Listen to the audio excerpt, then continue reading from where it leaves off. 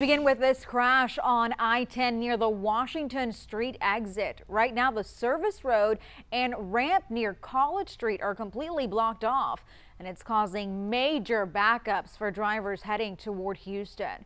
This crash happened around 4 this afternoon. BPD Officer Carol Riley confirms to 12 News the crash involved a semi, a FedEx truck, and three other vehicles. Right now, we're still working to confirm details on what may have caused this pile of wreck.